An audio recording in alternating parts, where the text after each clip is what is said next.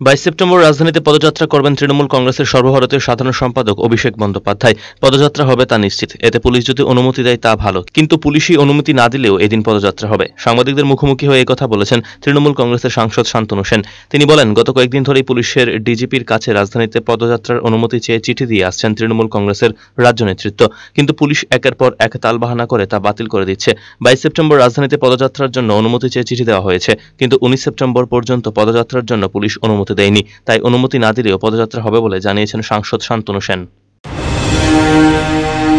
তার জন্য পুলিশ মোতায়েনের প্রয়োজন হয় না, যে কারণ দেখিয়ে আমাদের বাতিল করা হয়েছে পারমিশন।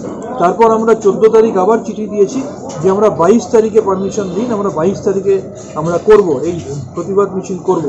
নর্মালি চব্বিশ থেকে আটচল্লিশ ঘণ্টার মধ্যে কনভেনশন হচ্ছে উত্তর পাওয়া। উত্তর পাইনি বলে গতকাল আঠেরো তারিখ আমরা গিয়েছিলাম, ডিজি দিল্লিতে থাকায় উনিই বলে দিয়েছিলেন, এডিজি ক্রাইম পুলিশ রাষ্ট্রপতির সাথে কথা বলতে। আমরা প্রতিনিধি দল গিয়ে জানিয়ে এসেছি যে, বাইশ তারিখে আপনি যদি পারমিশন দেন, খুব ভালো। যদি পারমিশন না দেন, এই তৃণমূল কংগ্রেসের হাজার হাজার কর্মীদের উচ্ছ্বাস, উন্মাদনা, উদ্দীপনাকে আমরা বাদ দিয়ে মেরে রাখতে পারব না। তারা আগরতলার শহরে থাকবে, অবশ্যই শান্তিপূর্ণভাবে থাকবে, অবশ্যই কোভিড বিধি মেনে থাকবে, কিন্তু আমাদের বাইশ তারিখের কর্মসূচি হবে। এবার পারমিশন দেবে কি না দেবে, সেটা বিপ্লব দেবের পরিচালিত Video Report Search entertainment.